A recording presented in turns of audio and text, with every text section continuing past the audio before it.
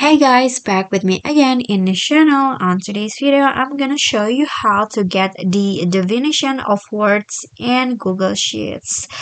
So uh, let's say that you want to uh, get the meaning of words in Google Sheets, there is a formula to do that so that you can uh, you don't need to open a dictionary and then type the definition of the words one by one. So here uh, I'm here is the formula that you need to use.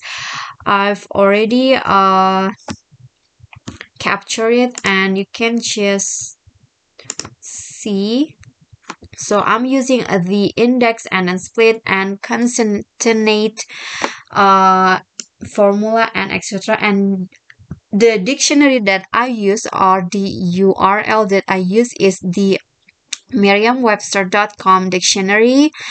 And uh, the formula is a bit too long and uh, to help you i'm gonna put it in your in the description of this uh, video. So what you need to do is type in this uh, formula. So i'm going to copy it and i'm going to do that for the second word ironic. So i'm going to just paste it and here i'm going to change it into a5 so you need to be careful when you put in the url because it might be wrong. Uh, i've already tried and uh, there are some error in the url so you need to be careful. There is the slash here and also the uh, quotation mark and don't forget the and uh, symbols right here. So you need to be careful.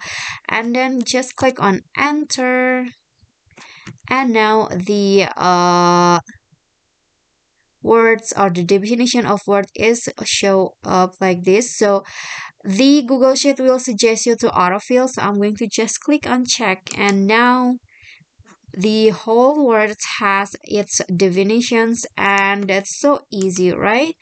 So i think that's all. That is how you can get the definition of words in google sheets. I hope this video is helpful to you. Please don't forget to click on like leave a comment and also subscribe to our channel. I'll catch you all in the next video